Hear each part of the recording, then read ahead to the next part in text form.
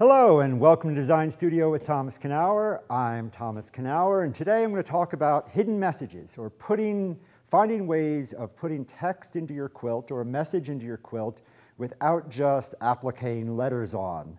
Um, we're going to look at various code structures, uh, ways of translating text into different languages essentially that are more amenable to formal translation, becoming shapes and especially quilterly shapes, um, things that are native to the quilting vocabulary instead of requiring, again, extraordinary measures. Thomas Knauer Design Studio is sponsored by Old City Quilts.